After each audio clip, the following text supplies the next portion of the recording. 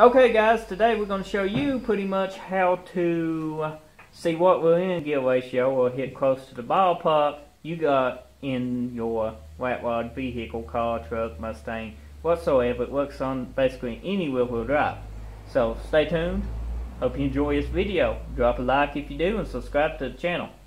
Okay, the first thing you want to do is pretty much find the out if you will got posi or if it's a if it's a open wheel, basically limited slip, posi, limited slip, same thing. This and right here is a posi. As you can see, both wheels is spinning the same direction. If it's going opposite to one another, it would be a open differential or a G80 locker, which you can check the lockers by spinning the wheel fast and then hit this, but it's still open diff, so it works the same way. Well, what you want to do is find the center of this wheel. We are going to use a valve stem and mark it with that right there. Next thing you want to do is basically get under here. And as you can see, the center of our thing, I don't know if you can see it or not. You got a light, Danny? Yep. We let Danny get us a light, and then we continue with the... Okay, Danny, come on back with the light. Little bit more. I'm back. Right there, that's good enough. You all get the idea right though? You can see it?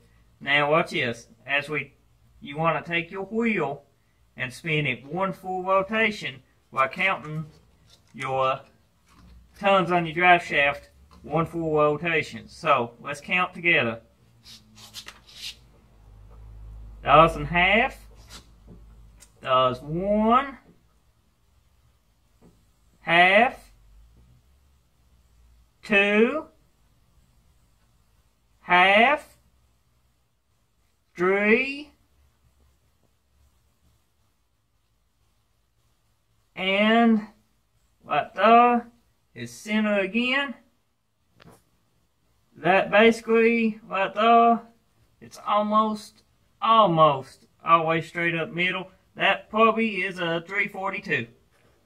Hey guys, that's how you tell what gear ratio you got without having to actually take the rear end cover. This is 342, so that's a good treatable gear with a 700 R4, but we'll probably putting a 350 turbo behind it, so we might be changing the gears. Ain't so sure yet. We see how it does.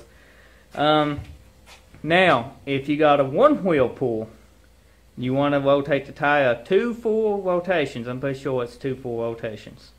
You want to two full because what's open wheel, it's got to spin twice as much.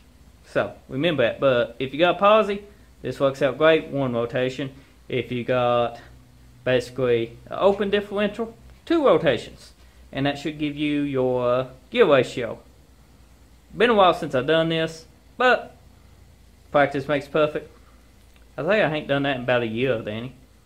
Yeah, it's been a while. But it's simple, easy to do. Enjoy. Hope you like this video. Subscribe.